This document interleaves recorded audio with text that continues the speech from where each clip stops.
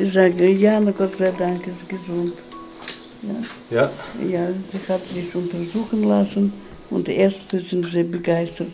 Ja. Sag selber. Ja, also ich habe äh, einen Lungentumor gehabt, einen Lungentumor.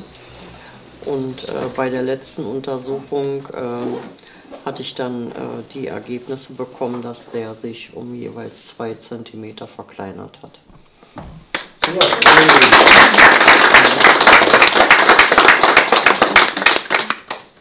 Ein guter Arzt hat mich zu Sophie geschickt, genau. Ich sollte, äh, ich habe auch Krebs, Unterleibskrebs. Und ich sollte Chemo machen und äh, Bestrahlung.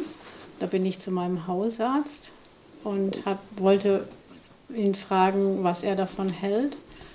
Und der hat mich dann hier zu Sophie geschickt. Und seitdem geht es mir schon viel besser.